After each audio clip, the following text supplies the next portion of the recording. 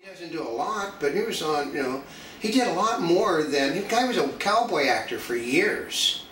You know, he was on Owen Marshall, also on television for playing a prosecutor, but um, but the, uh, this is how you do these things. Internships are very important. You'd think that those people from World War II, when they came back, had paying jobs. A lot of them took internships so that they could learn a profession because uh, a lot of them had no career before they went into the military. Mm -hmm. And when they come back, let's see, I, I also remember um, my father, my father had met Audie Murphy. My father said, you know, Audie Murphy said he filled out, he got to fill out his resume. He said, let's see, my resume said, uh, you know, I, I basically finished school in the military, which means I'm not educated.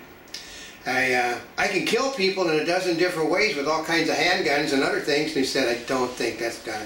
My father said, it, we, Audie Murphy had a warped sense of humor. He said, yeah, but I can outdraw anybody. And I said, and then what happened was, is my, um, my father knew Jimmy Cagney because my, my grandmother was part of the Irish and my father was part of the, the John Ford Irish contingent.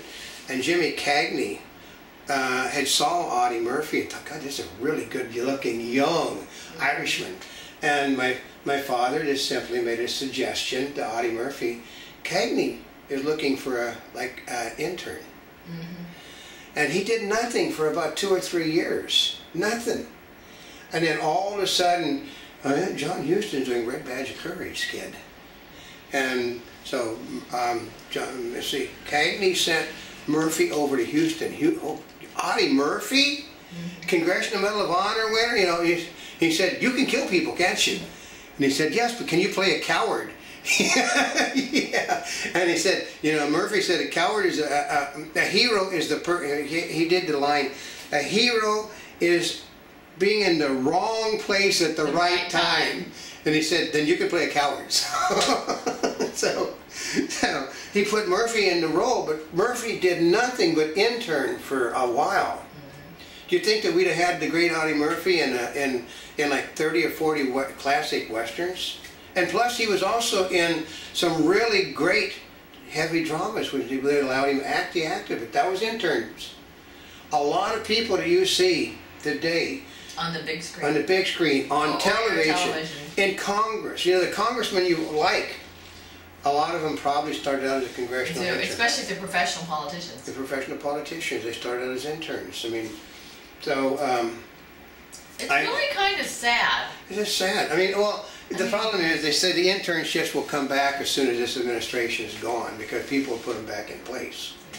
But for right now, okay, there is, okay, the, uh, the, uh, okay, here, here's the difference between a Republican in the House and Senate and a Democrat in the House and the Senate. What's that? Uh, you spell their parties differently. No, but I mean, she's she is an example. I'm I'm an example of a whole family of interns. Mm -hmm. She's done it, you know, to move ahead, but I did it. I had to be an intern. I had to intern for television. I had to intern to learn some of the jobs I did in movies. I had to intern. I was a veterinarian. I had to do an internship to be a veterinarian. Well, you have to be for certain professions. I, I, was a big animal intern because I dealt with. I, I, okay, they like to have me on. I also there's a method to my madness. How are you going to? Okay, westerns were popular in the 40s, 50s, and 60s. Mm -hmm. How do you manage to get on the set where there's lots of westerns? You make yourself very useful. What could I do besides riding the horse and looking menacing? What? I could also treat the horses and animals on the set. Ah. Because I was a true. big animal. That's true. You could, huh? Yeah. So, I, so I could teach the people on the set.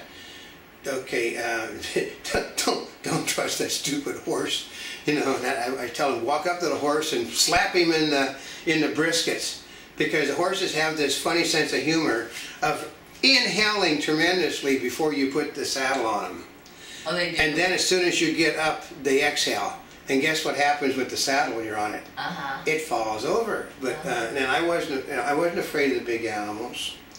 So it was there was always a method to my madness. I interned on Is what that why I you became a vet? Because well, I actually became a vet partly because I couldn't get into medical school like I wanted, and I had a choice. You know, I, the vet. I, I I like animals. I grew up with animals all my life, and I never had a fear of being hurt by an animal. I mean, I, I play. Well, she knows I play rough with Monty. Monty will nick me with her teeth continually. I know. If you ask, if you ask her if you want to fight, then she goes ah. Monty will fight to the death with me. She'll jump me from the behind. She'll knock me into furniture. But it's the trick. If you're going to play with an animal, you can't be afraid of the animal. I've never been afraid. I mean, example, this morning I got this huge dog in my neighborhood. The neighbors are terrified. The dog. He comes up to me. I'm petting him on the The side. animals all know. They They, know I'm not scared of being bit.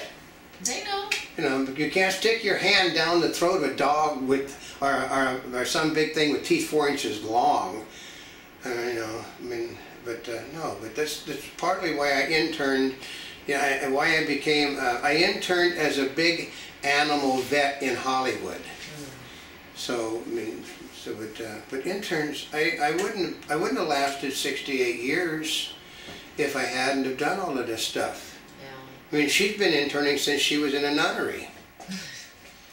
Yeah, she had very liberal nuns. But, you're but, going, huh? but, uh, but think she should have the last word on the loss of the congressional interns, at least for the It- moment. it's really, it's really just very, very sad. And part of it is expect less service. Um, it's a whole branch, but this is one of those things that we do hope that they will come back just as soon as they can change it because, you know, it's it's like some other things. It's it's where tomorrow's leaders are developed. Mhm. You know, good, bad, or indifferent, they do come from an internship. And I, uh, I mean, I had a lot of fun as an intern doing the things I got to do.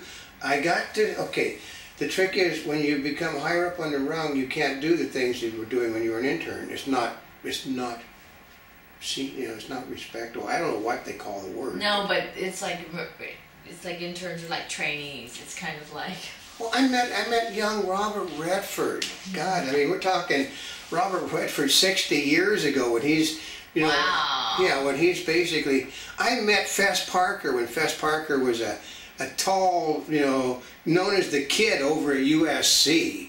And you know, and he was like an intern. He was really doing every crappy thing because he's like six foot seven, stood Oh, above really? everybody, tall, you know, weighed like 140 pounds, six foot seven, and you know, um, I, I met Michael Connors, who was called Stretch Connors. I met a lot of people that basically started out as interns in one way or the other. They learned the craft and they expanded upon what they learned. All of them become businessmen. Every one of these performers that I met in the, when I was a young person learning the business, all become big businessmen. Mm-hmm. Because they learned. They not only interned as actors, they were interning in the business sections of things too, so they could mm-hmm. learn. And I, I guess I, it you know, is. It's just one of those things that's very, very sad. That I'm hoping that they'll change it just as soon as they can. It's called, okay, uh, we- actually, well, I'm gonna finish there, we're try to finish, finish another way. Um, while I didn't work on Fiddler on the Roof on Broadway, I did do it like in the Los Angeles theater section. Um, that, um, they, they, Broad, Hollywood, Broadway was dying. They had totally gotten away from what was Broadway. You know, they were doing like hair and all these things that basically had an audience, but they, you know, psychedelic things, they had an audience, but a very limited audience. And then somebody, they, they, they wrote, um, they, they wrote Fiddler on the Roof, and they said they needed something that was really important to stand out on the show, and they're trying to figure out, you know, they're trying that to figure out how to make it like it was, uh, you know, like old Broadway was, and then, you know, we've got it, you know, we, we no longer do anything traditional, and then tradition, Is, did that really develop from the LA it came from from New York? tradition. You come from talking about returning Broadway to what it was glory. Interesting. And from that, you see sprung almost all of the great Broadway musicals since then. It's from one song tradition. It made people remember what made Broadway great. Tradition. They have, you want tradition? Interns on Broadway. Young actors and actresses that are basically doing everything under the sun, you know, because they want to maybe be directors. They want to be, uh, I mean, I remember Tommy Tune, who's got like six or seven Tony Awards as choreographer, as a dancer that wanted to be more.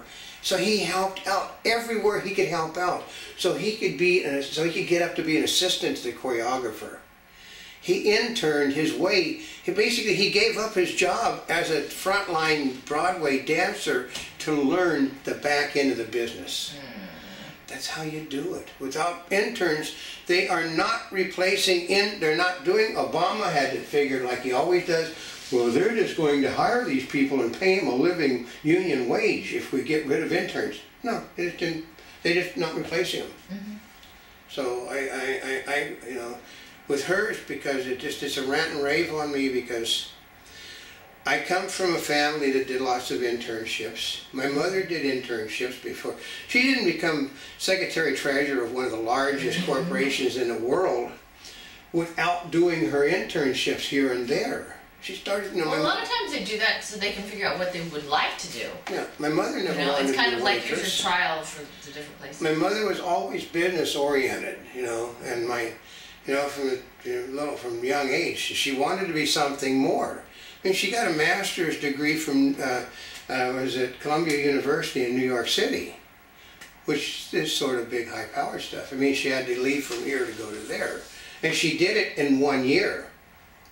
So you know, not one year, but I'm talking first semester and second semester. She got the master's degree that quick you know so but um, but she interned when she came back she started below where she was when she left oh, really? yeah because she was trying to move up the food chain so she had to start all over again at the bottom of the rung in another section of the business but she helped develop the business at, you know basically one major restaurant chain one major fast food chain a major food and pie chain uh, actually two fast food chains In the uh, restaurant industry. restaurant industry. She helped develop the, the restaurant industry as you've known it since the 1940s. Yeah. She helped build it.